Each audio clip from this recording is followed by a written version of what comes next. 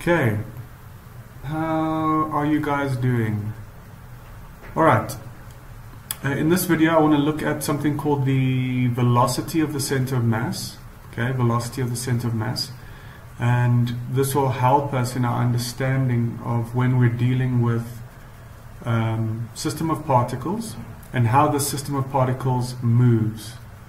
Okay, so that's enough enough of an introduction. Just recall this, okay? We'll get into this now. Remember if you have a single particle, what was the what is the equation for the linear impulse and momentum? Remember that we have the mass of the particle times its velocity at state 1 plus the sum of all the impulses, right, is equal to the mass times velocity at state 2 of that particle. And remember that these forces, well, it's not so relevant here, um, but these forces are external forces, but it's more relevant when you have a system of particles.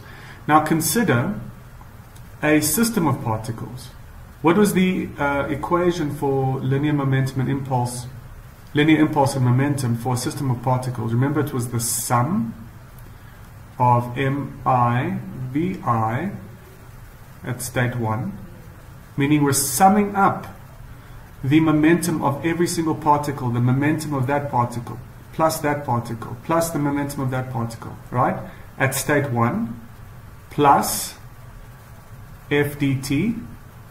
And remember that this force here uh, only referred to this type of force, which was external forces, not, not internal forces like this Fi. Right? So these were external impulses. And then this equaled the sum of MIVI at state 2.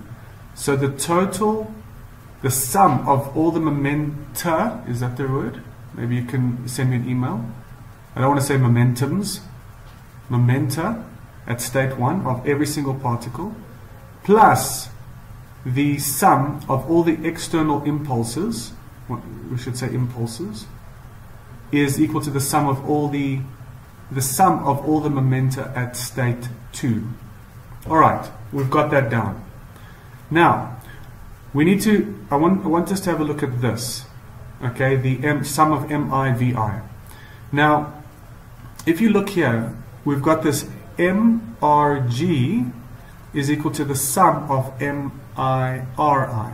What does this mean? This is just the equation that allows us to calculate the center of mass.